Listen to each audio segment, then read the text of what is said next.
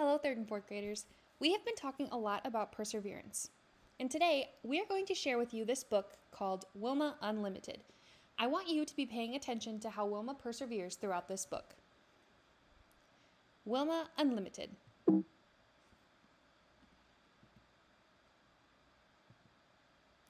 No one expected such a tiny girl to have a first birthday. In Clarksville, Tennessee, in 1940, life for a baby who weighed just over four pounds at birth was sure to be limited. But most babies have 19 older brothers and sisters to watch over them. Most babies didn't have a mother who knew home remedies and a father who worked several jobs. Most babies weren't Wilma Rudolph. Wilma did celebrate her first birthday, and everyone noticed that as soon as this girl could walk, she ran or jumped instead. She worried people, though. She was always so small and sickly. If a brother or sister had a cold, she got double pneumonia. If one of them had measles, Wilma got measles too, plus mumps and chicken pox. Her mother always nursed her at home. Doctors were a luxury for the Rudolph family. And anyway, only one doctor in Clarksville would treat black people. Just before Wilma turned five, she got sicker than ever. Her sisters and brothers heaped all the family's blankets on her, trying to keep her warm. During that sickness, Wilma's left leg twisted inward, and she couldn't move it back. Not even Wilma's mother knew what was wrong. The doctor came to see her then. Besides scarlet fever, he said, Wilma had also been stricken with polio.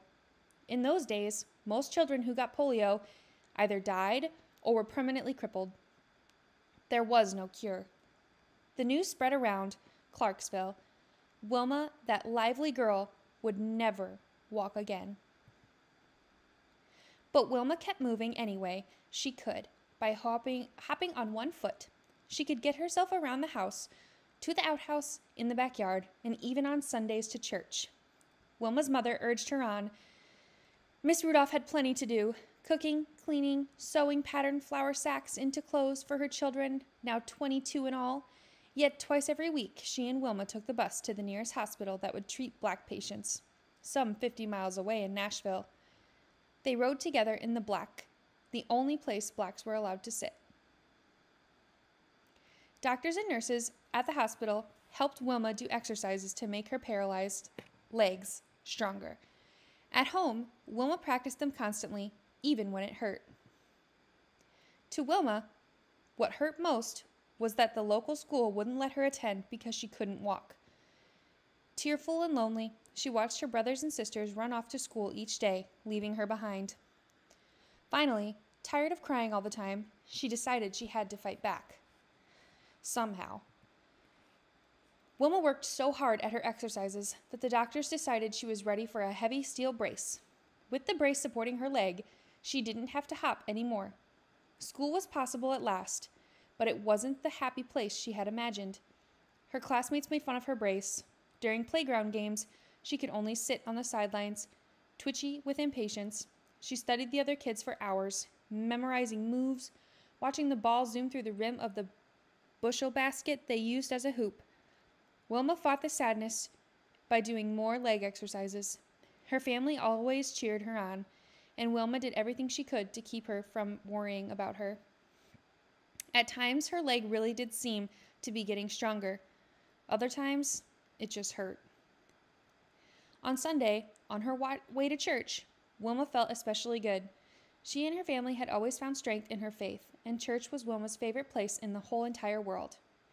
Everyone she knew would be there, talking and laughing, praying and singing. It would be just the place to try the bravest thing she had ever done. She hung back while people filled the out old building. Standing alone, the sound of hymns coloring the air, she unbuckled her heavy brace and set it by the church's front door.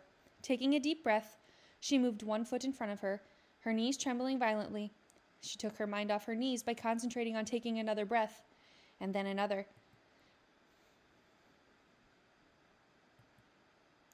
Whispers rippled throughout the gathering. Wilma Rudolph was walking, row by row, heads turned toward her as she walked alone down the aisle. Her large family, all her family friends, everyone from school, each person stared wide eyed. The singing never stopped, It seemed to burst right through the walls and into the trees. Finally, Wilma reached a seat in the front and began singing too, her smile triumphant. Wilma practiced walking as often as she could after that, and when she was 12 years old, she was able to take off the brace for good. She and her mother realized she could get along without it. So one memorable day, they wrapped the hatred brace in a box and mailed it back to the hospital. As soon as Wilma sent that box away, she knew her life was beginning all over again. After years of sitting on the sidelines, Wilma couldn't wait to throw herself into basketball, the game she had most likely watched. She was skinny, but no longer tiny. Her long, long legs would propel her across the court and through the air, and she knew all the rules, all the moves. In high school, she led her basketball team to one victory after another. Eventually, she took the team all the way to Tennessee State Championships. There, to everyone's astonishment, her team lost. Wilma had become accustomed to winning. Now she slumped on the bench, all the liveliness knocked out of her. But at the game that day was a college coach. He admired Wilma's basketball playing, but was especially impressed by the way she ran. He wanted her for his track team and field. With this help, Wilma won a full athletic scholarship to Tennessee State University.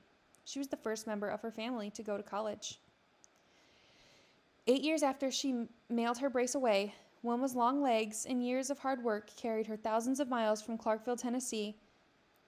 The summer of 1960, she arrived in Rome, Italy, to represent the United States at the Olympic Games.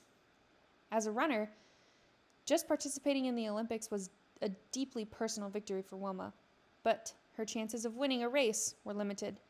Simply walking in Rome's shimmering heat was a chore, and athletes from other countries had run faster races than Wilma ever had. Women weren't through weren't thought to run it very well anyway. Track and field was considered a sport for men.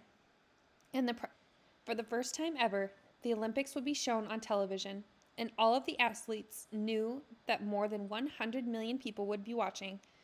Worst of all, Wilma had twisted her ankle just after she arrived in Rome. It was still swollen and painful on the day of her first race. Yet, once it was her turn to compete, Wilma forgot her ankle and everything. She lunged forward, not thinking about her fear, her pain, or the sweat flying off her face. She ran better than ever she had ever ran before, and she ran better than anyone else. Grabbing the attention of the whole world, Wilma Rudolph of the United States won the 100 meter dash. No one else came close. An Olympic gold medal was hers to take home. So when it was time for the 200 meter dash, Wilma Wilma's graceful long legs were already famous. Her ear buzzed with the sound of the crowd chanting her name. Such support helped her ignore the rain that was beginning to fall. At the crack of the starting gun, she surged into the humid air like a tornado. When she crossed the finish line, she had done it again. She finished far ahead of everyone else. She had earned her second gold medal. Wet and breathless, Wilma had exhilarated the double triumph. The crowd went wild. The 400 meter relay race was yet to come.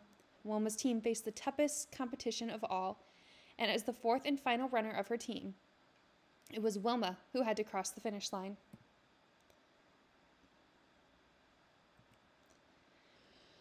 Wilma's teammates ran well, passed the baton smoothly, and kept the team in first place. Wilma readied herself for the dash to the finish line. As her third teammate ran toward her, she reached back for the baton and nearly dropped it. As she tried to recover from the tumble, two other runners sped past her. Wilma and her team were suddenly in third place. Ever since the day she had walked down the aisle at church, Wilma had known the power of concentration. Now, legs pumping, she put her mind to work.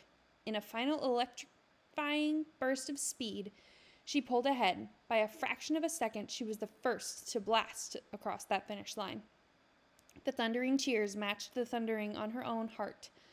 She had made history. She had won for an astonishing third time.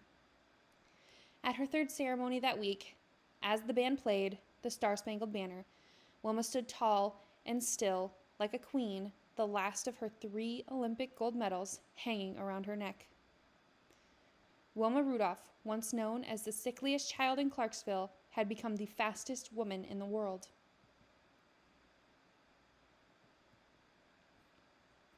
Now take a second to think back on this book, and we are going to move on to our Flipgrid where you are going to answer the question How did Wilma persevere throughout this book?